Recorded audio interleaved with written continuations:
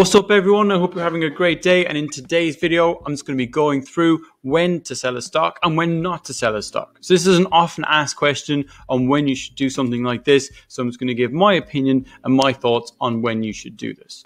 So remember guys to join all of our stuff that is down in the description below. We've got Discord, Instagram, TikTok, Facebook, all that kind of stuff. So make sure to join us over there as well. And remember, this is not financial advice by any means at all. So remember to do all your own research when you're looking into anything like this at all. Remember as well, hit the like button, hit the subscribe button, helps us out an awful lot.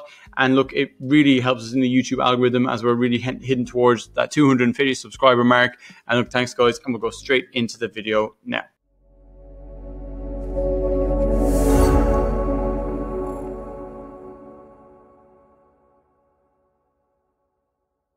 When to sell a stock? This is one of the most asked questions that we do get. When should you think about wanting to sell a company that you've looked into religiously over the last few months and you're now thinking about, oh, I need to sell the stock? Why would you even think about doing this? Has something changed? Something in your personal life has changed? Why are you thinking about selling a stock? So, it's going to get into a few things. So, you need to ask yourself three things. When is it the right time for me to sell this stock? Why would I sell this great company, great stock? You don't want to have a massive feeling that you sold way too late or way too early. So you need to think in your own head is it too late or am I selling this way too early and I'm going to lose out on a lot of profits that are coming down the line? So these are a couple of things you need to consider when you're first thinking about selling a stock. When to consider selling a stock? Is when the fundamentals of the stock have changed. All companies do change, but sometimes they do change for worse, sometimes they change for better. You also have to think about laws, regulations that are coming in from above board, from the governments, from countries all around the world as well. So these can all change what happens to that specific company, specific stock, specific industry. So a lot of this kind of, for example, would be to do with oil regulation and pollution into the environment, which is a massive topic right now. So you have the the G7, you have the Paris Climate Accord, Accord. They're all going to be affecting these oil companies and their profits as the people uh, clamp down on carbon dioxide and a lot of the emissions that come with that. So that's kind of an example where the oil industry is going to suffer as more people turn away from fossil fuels. So that's just one example of a regulations affecting a specific area a new management team can come in and they can change a lot of things. Sometimes it can be for good, sometimes it can be for better. So you have to kind of examine of what changes they're bringing in into that company and kind of see do you think this is going to be good do you think it's going to be bad and this could influence your decision when you want to sell that that stock new competition that comes into the market so new competition a lot of the time is always welcome because you are there then forced to have an edge against your competitors, whereas a lot of companies do not. So the competition is actually is, is a good thing in a lot of cases, but they can also take a lot of your market and result with your company actually heading down the way and growth rates falling. You're not even maintaining what you were having before, and you're even losing money, which is the worst case scenario. So they are things to consider when you're going to selling a stock. This can also change if you're looking at growth stocks, you're looking at value stocks. They both have different attributes between them. So, like a growth stock would have very high multiples of PE, forward PE be very, very high, PEG ratio very, very high. So that's why you pay a premium for the, the growth stocks over the value stocks. So when considering selling a growth stock, you look when the growth, starts to slow down and the multiple is still high and you've made a nice bit of profit on that. That's when you would sort of kind, kind of start to decide whether you're going to sell that stock or not. With a value stock, you want to make sure that the company has reached its intrinsic value and that you bought a nice bit below that. So for example, if you bought 50% below intrinsic value, it has now reached intrinsic value, you're leaving with a nice profit of 100%. When to cash in on your stock? You're looking for where there's a better opportunity in the market for you to reallocate your money. You're thinking, can I make more profit over here than where I currently am? So you're like I'll sell one of my assets that I think I'm up quite nicely. I'm in a nice bit of profit. I'll sell that asset and I'll buy a new one.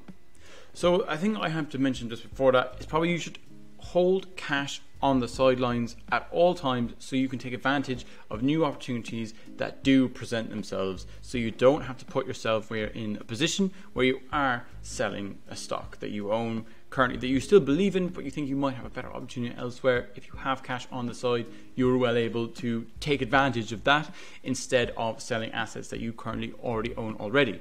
So that would be a bit of a strategy that I would go by in this sort of case but it is okay if you really, really do believe that this new opportunity that you have seen presents a better opportunity than you currently do have. It is perfectly okay to go ahead and reallocate that money instead. So a lot of people do do this. Like they can buy something, and after a month, month, month, two months, three months, they might sell it on a short-term basis. But they all do it for a, a reason where they have a better opportunity in the, in the wings. So that's kind of something that what a lot of people do, but it is specifically a judgment call of that individual.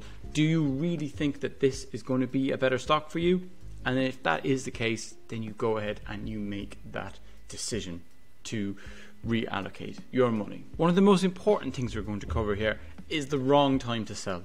So the wrong time to sell is definitely in times of fear. So the market can sometimes end up feel like you're losing and you're losing and you're losing, that is not the time to sell. It is not good to sell at a loss. It's to try and reevaluate where you are and to be able to put more money into positions that you do fully believe in. So a price drop in your investments is not an indication that you should sell as what a lot of people do think. They get instant fear when they see, oh, my investment is down 10, 15%. You get an instant kind of sense that there's fear in them which isn't always the case. What has changed in the company from when you bought it to being 15% down after a week afterwards? Like, if there's nothing specific that has changed, the management hasn't changed, the company strategy hasn't changed, why would you think about selling? So, this is something that you need to consider when you are thinking about selling your stock. Are you selling it just because you're in fear and you're seeing that it is down 15, 20%, 30% over, over time? So, this presents an opportunity to buy the stock at a cheaper price and to really double down on your conviction stocks. So a lot of this kind of fear play is a lot of it, it's short short term thinking on behalf of the the individual, and a lot of these people are more so speculators than actually investors in the company. A speculator will sell their stocks at the first glance of fear, and that is not something that like we're about on this channel. We're about holding your positions for um, a very long, a very long time, and to get the maximum out of every position that you put your money into. And so, if my position is down, for example, one of mine is uh, Corsair Gaming. It's down from where I bought it about twenty percent, and I'm doubling down and buying more um, as as I can and can afford to do so.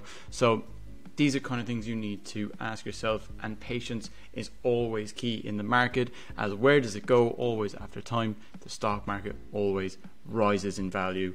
So that's kind of one of the key things to think about when you are thinking about selling your stock. You need to think: Is this the right time? Am I doing it under the right circumstances? Have I thought this through? There are a lot of things that you need to consider when you are going to be selling a stock. So that just brings us to the end of the video. I hope you kind of understood a bit about when thinking about selling a stock and when thinking this is going to be a good idea. What am I going to do with the money that I've gotten? Obviously, personal circumstances can change. You need to make a big purchase, something like that. You obviously will need to kind of rework where are you going to be putting your money in? You might sell off some assets if you've got a, uh, a tax bill, you've got a new car, you've got an unforeseen circumstances. They're all things that we can allocate to selling a stock as well. But when doing it under normal normal circumstances and thinking about reallocating money, you just need to consider where you are.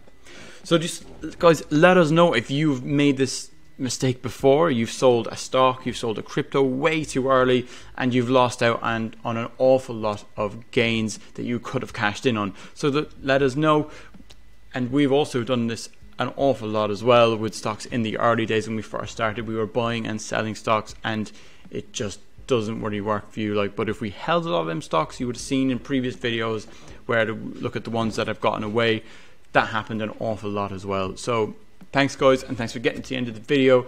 and we will see you in the next one. And remember to hit the like button and hit the subscribe button. It really helps us out an awful lot. Thank you.